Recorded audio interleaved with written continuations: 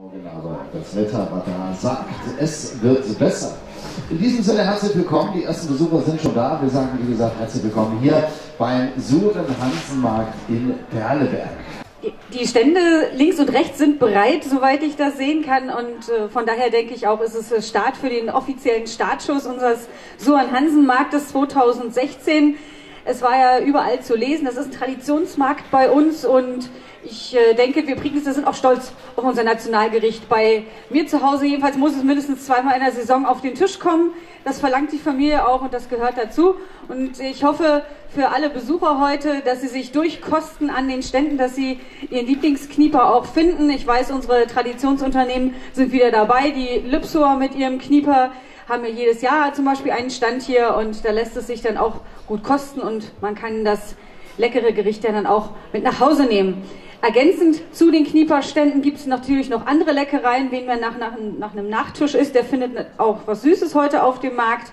Und wir haben es eben gerade gehört, es darf getanzt werden, Musik ist da, da haben wir gar nichts dagegen, auch wenn das Wetter äh, ein etwas bisschen besser hätte sein können heute, aber vielleicht tanzen wir uns dann einfach warm zu bester Musik. Das äh, ist dann eine schöne Geschichte und animiert dann vielleicht den einen oder anderen auch noch.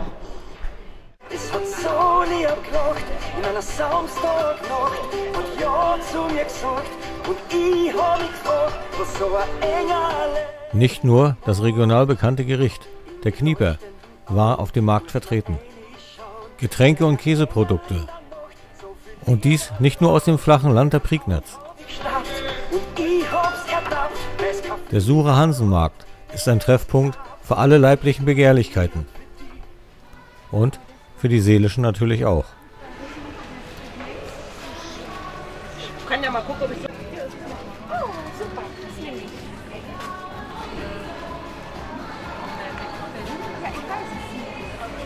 Während die Erwachsenen auf der Suche nach etwas Essbarem waren, haben die Kinder gern einmal eine Runde auf dem Karussell gedreht.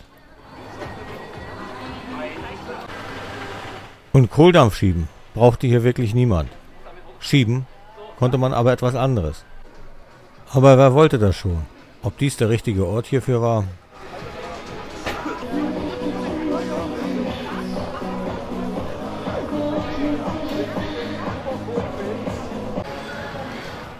Die Zeit brachte mehr Marktgäste und unter ihnen auch einen ganz besonderen. Es war der Prignitzer Knieperkönig höchstpersönlich, Horst Fenske.